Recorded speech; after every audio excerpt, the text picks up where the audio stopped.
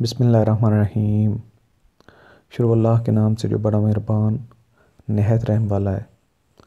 अस्सलाम वालेकुम।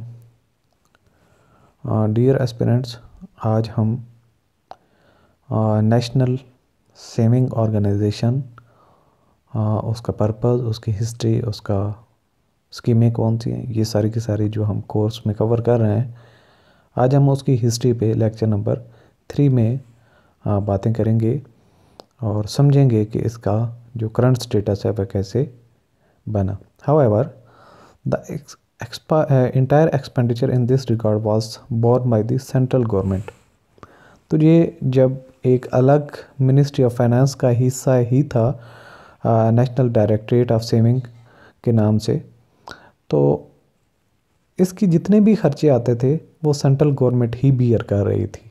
यानी कि इसके अपने रेवेन्यूज़ नहीं थे। ये on the behalf of the central government ही काम कर रही थी और इसके जितने रेवेन्यूज़ जनरेट होते थे वो भी गवर्नमेंट के पास जाते थे और एक्सपेंडिचर भी गवर्नमेंट ही बियर कर रही थी। Such an arrangement created a large number of administrative difficulties and stunted the growth of savings तो ये जो मामला थे, जितने खर्चे थे इसके एक्सपेंडिचर थे एडवर्टाइजिंग के पब्लिसिटी के और इसके ऑफ़िस को रन करने के लिए वो सारे के सारे जो है, वो सेंट्रल गवर्नमेंट पे डिपेंड कर रहा था और इसको एक जो ऑटोनॉमी होती है या एक पावर होती है कि पॉलिसी बनाई जाए, उसको इम्प्लीमेंट किया जाए, वो नहीं था, इसलिए प्रोडक्टिव भी नहीं था और जो ग्रोथ होनी चाहिए थी, वो नहीं उस तरीके से हो पा रही थी।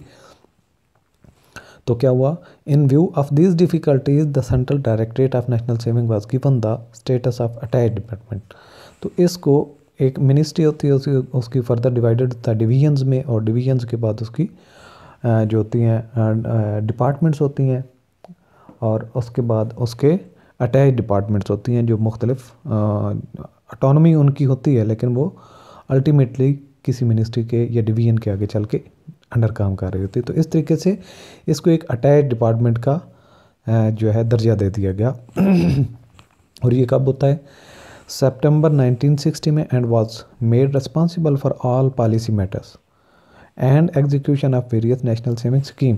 इसको क्या जितनी भी पॉलिसीज़ बनाने का मामला था या जो नेशनल सेविंग स्कीम्स की जो एग्जीक्यूशन थी वो इसकी ज़िम्मेदारी लगा दी गई। Subsequently it was also declared a technical department by the government और बाद में इसको जो गवर्नमेंट ऑफ़ पाकिस्तान है सेंट्रल गवर्नमेंट है, उसने इसको अटैक डिपार्टमेंट के साथ साथ टेक्निकल डिपार्टमेंट का भी दर्जा दे दिया।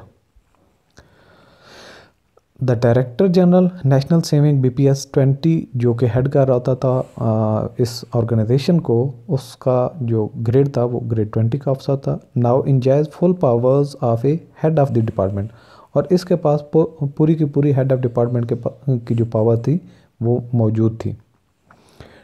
और till December 1971 the national saving organisation function as a public publicity organisation and its activities were merely promotional in nature but in in early 1972 अभी आपने याद रखना है कि दिसंबर 1971 तक ये सिर्फ़ और सिर्फ़ क्या था? इसका पब्लिसिटी वाले फ़ंक्शंस थे।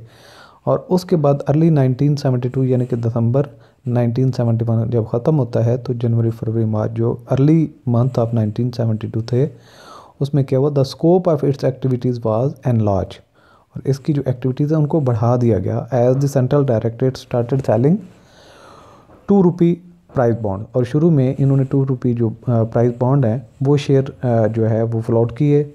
And subsequently engage in operation of other saving scheme prize bond के बाद इन्होंने बाकी जो बचत की स्कीमें हैं, उनकी तरफ़ भी काम करना शुरू कर दिया। This resulted in considerable expansion of the national saving organisation और इस तरीके से इसने बढ़ना शुरू कर दिया। इसके फ़ंक्शंस ग्रोथ की तरफ़ जाना शुरू हो गए